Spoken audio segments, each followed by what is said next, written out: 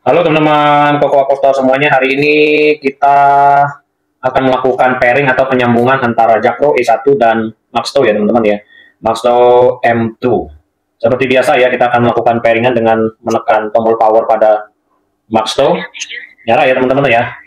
Lalu kita akan menyalakan mode Bluetooth pada si uh, Jakro E1 ya.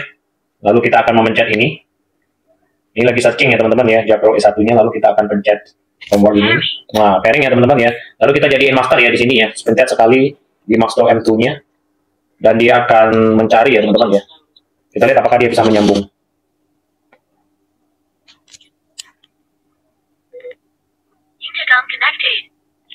Tuh, teman-teman, ya.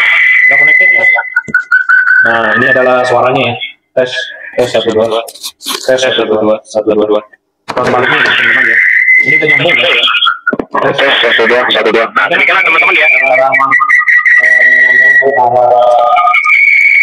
uh, Intercom Maxto M2, M2 dan Jakro E1. Terima kasih teman-teman sudah menonton ya.